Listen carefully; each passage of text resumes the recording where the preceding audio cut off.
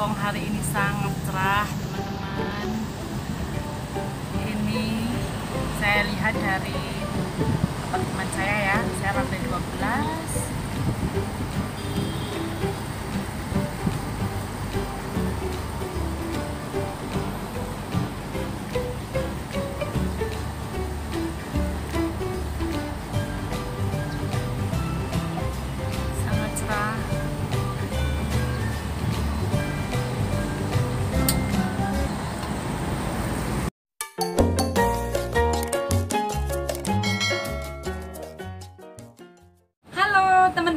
jumpa lagi dengan saya di vlog kali ini.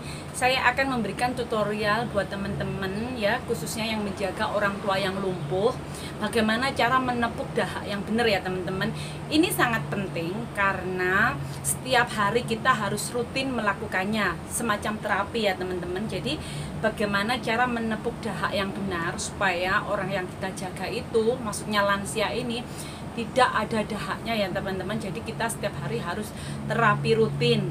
Dan juga saya akan memberikan cara atau tutorial membalikkan badan si nenek ataupun kakek dari arah samping ke samping kembali ya teman-teman. Mungkin ini akan bermanfaat sekali buat kalian yang bekerja di luar negeri terutama khususnya yang menjaga orang tua yang lumpuh ya. Jadi kita langsung saja dan kalian bisa lihat video saya kali ini. Nah, teman-teman, ini adalah kondisi nenek saya. Nenek saya itu selain sudah lumpuh, walaupun tangan dan kakinya bisa gerak, tapi sangat kaku sekali ya, teman-teman. Jadi kalian harus perhatikan. Biasanya setiap orang tua itu kan beda-beda ya. Jadi karena ini nenek saya ini badannya kaku banget, tangannya kan nggak bisa nih ditelentangkan. Jadi kalau buat miring, saya cukup miringkan aja. Usahakan ambil di pundaknya ya teman-teman karena ini akan meringankan berat badan jadi langsung kita miringkan seperti ini pastikan tangannya tidak ada yang ketekuk ya teman-teman. Karena memang kondisi badan nenek saya itu sangat kaku sekali seperti kayu. Kalau sudah posisi seperti ini kalian bisa langsung tepuk ya teman-teman. Atau sebelumnya bisa kita juga ganjal pakai bantal atau guling ya semacam ini. Apa pun itu boleh. Lantas kita tepuk-tepuk bagian ini teman-teman. Siku tangan. Nah kita tepuk-tepuk dari mulai atas ke bawah bawah ke atas. Tepuk-tepuk seperti ini ya teman-teman. Kira-kira sekitar 1 sampai 5 menit.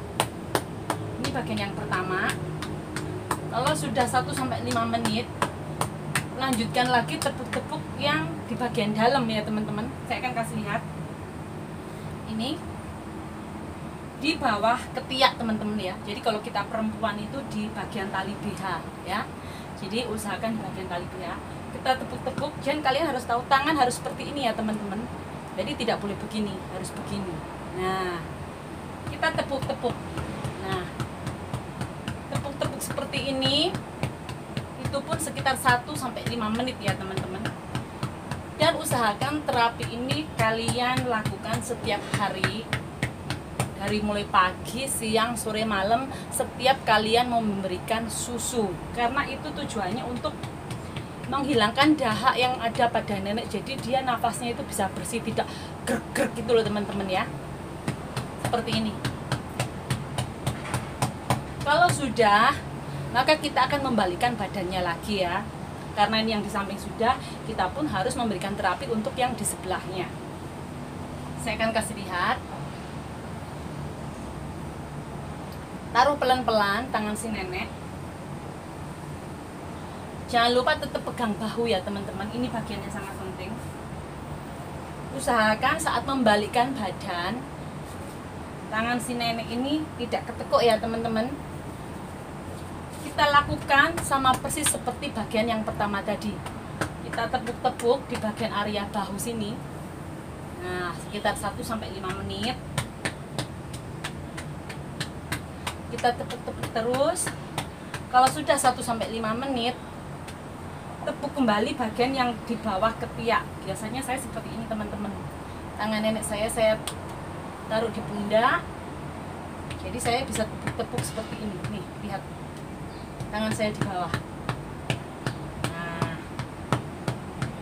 Tepuk-tepuk seperti ini ya teman-teman. Sekitar 1 sampai 5 menit.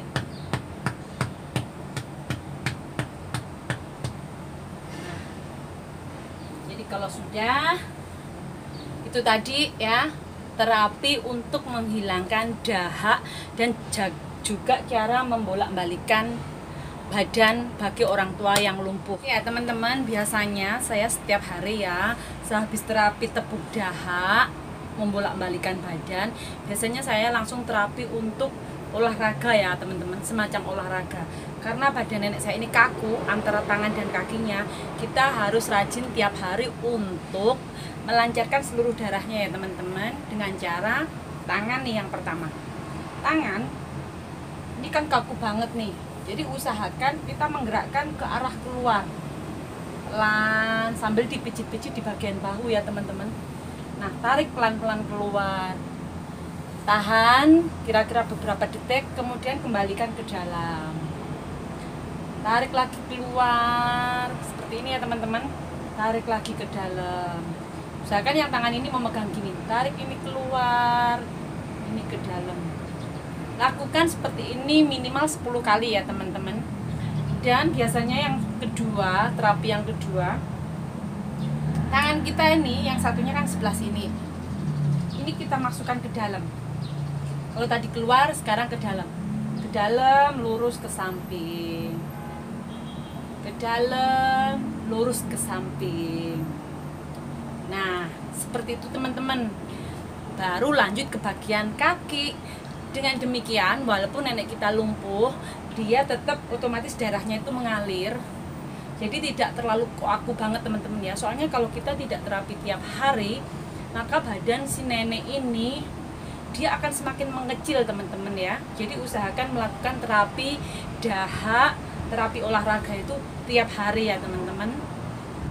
Nah, untuk bagian kaki ini kan kakunya minta ampun teman-teman. Jadi kalian bisa menerapi dengan mengangkat.